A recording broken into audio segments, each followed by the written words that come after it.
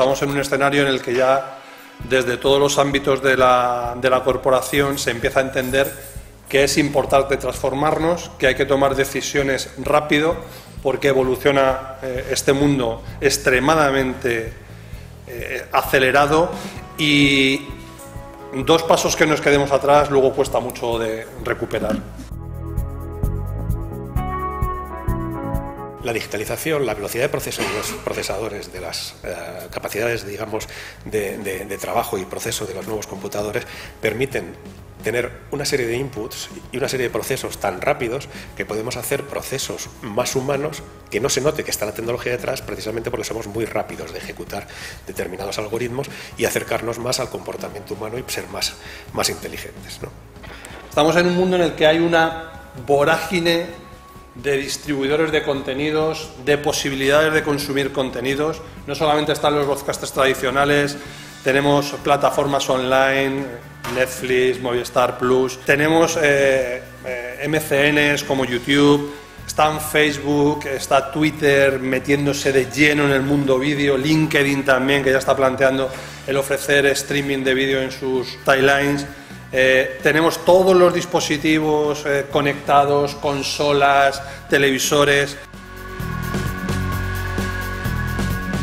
Detrás de la transformación digital tenemos la tecnología, que es la base de todo, pero no es lo más importante.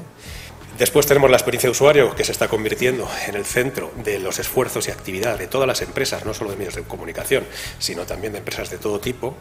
¿vale? Y eh, factor recursos humanos, y cuando digo factor recursos humanos no me refiero al número, que eso lo vendrá después en otro factor, sino en la motivación del equipo de la empresa que fabrica el producto o que trabaja en el proyecto.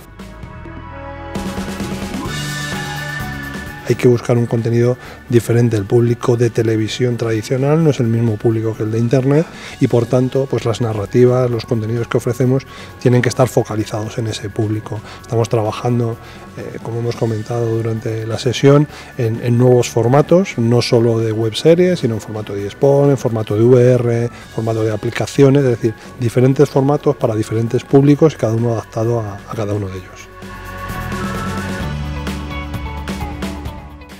Ya hay universidades como la TUE, la Universidad de Tecnología de Eindhoven, que ha desarrollado desde la Escuela de Ingeniería una nueva carrera, un bachelor de tres años, que se llama Psychology Technology. Porque se dieron cuenta que la ingeniería desarrollaba y diseñaba cosas, pero le faltaba conocimiento a los ingenieros sobre el comportamiento del ser humano para adaptarlo a la tecnología que están fabricando.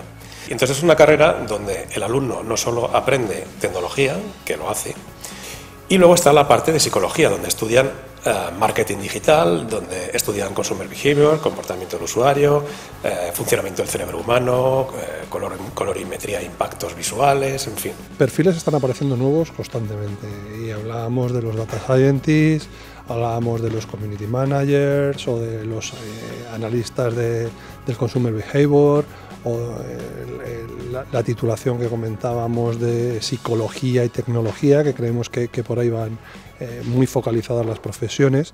Y yo creo que eso, el, sistema educativo se tiene que adaptar a ello, a estas nuevas profesiones.